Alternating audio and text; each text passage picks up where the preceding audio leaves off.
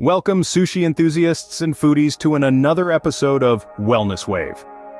I'm your guide through this culinary adventure and together we'll unravel the mysteries behind the creation of sushi and witness its transformation over the centuries. Get ready to discover the origins, innovations and cultural influences that have shaped sushi into the beloved dish we know today. Could you imagine a world without sushi? A world where the delightful combination of vinegared rice, fresh fish, and crisp seaweed was yet to be discovered? It seems almost unthinkable. But sushi, as we know it, has a long and fascinating history that has shaped it into the international culinary sensation it is today. The history of sushi is shrouded in legends and tales. One story tells of an elderly woman hiding rice in osprey nests, leading to a surprising discovery that changed the way we enjoy seafood. But the true origins of sushi are as mysterious as they are fascinating. Centuries ago, in the 4th century to be exact, a Chinese dictionary made the first known mention of sushi. The concept was simple yet ingenious. Salted fish placed in cooked rice, initiating a fermentation process.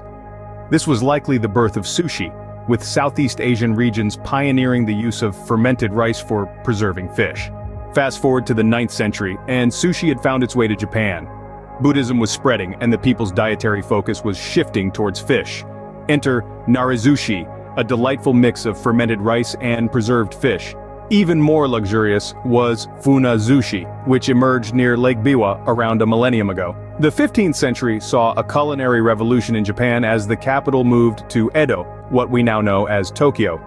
Nama Nare Sushi, a quicker version of sushi, came into existence during this period of civil unrest, reducing the fermentation time. Then in the 1820s, a man named Hanaya Yohei changed the game of sushi preparation forever.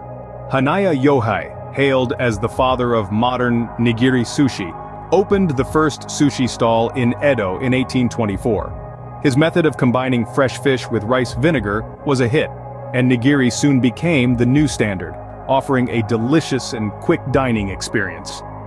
Following World War II, advances in refrigeration and transportation allowed sushi to take the world by storm. Sushi bars began popping up all over Japan, and by the 1970s the demand for premium sushi was through the roof. The sushi wave soon hit America. Los Angeles was the first American city to fully embrace sushi. The opening of Kawafuku Restaurant in 1966 marked the beginning of sushi's popularity in the US. Traditional nigiri was served to American patrons, and sushi bars began to proliferate across the country during the 1970s, forever changing the American culinary landscape. In the realm of sushi, evolution is constant. From traditional nigiri to creative rolls, sushi chefs are always innovating. Modern twists on the classic, like rolls with cream cheese and spicy mayo, reflect a Western influence. Even vegetarians can enjoy sushi with the creation of inventive vegetable-style rolls.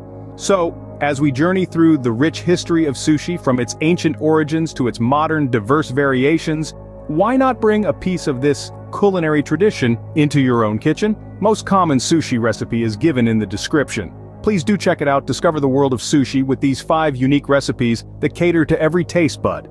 From traditional to crazy there's something for everyone in the evolving world of sushi.